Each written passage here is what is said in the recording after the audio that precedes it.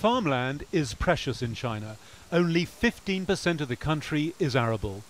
That makes the lush and fertile province of Heilongjiang very important, especially now. Close to the border with Russia, this is soybean country.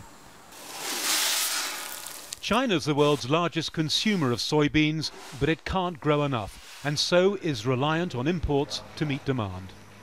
That means the decision to impose a 25% levy on US soybeans creates risk. Yet, in this province, the trade fight appears to be having a welcome impact.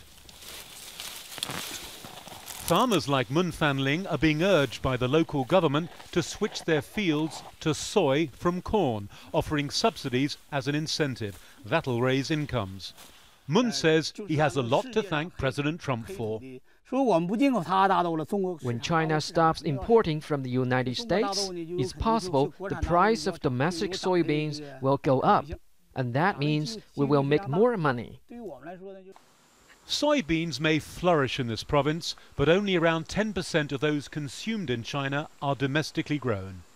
The instruction to local farmers to grow more soybeans was a political priority. But the reality is this China is a long way from ever being self sufficient in soybeans, which means it's going to be reliant on imports for years to come. Hi, everybody. I am a soybean. In this cartoon video, China appears to be targeting US farmers. It's been airing on the International Service of State TV and has a clear message. China can buy soybeans from other countries. If that happens, soybean farmers in the US could take an even greater hit. The soybean plays an essential role in the Chinese diet, used in cooking oil, sauce, tofu, as well as animal feed. The government's now taking action to ensure there's no shortage. The government is offering more subsidies to soybean farmers, so I believe the government has been very supportive to the whole soybean industry.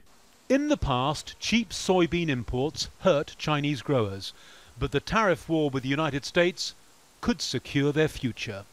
Adrian Brown, Al Jazeera, in Heilongjiang province, northeast China.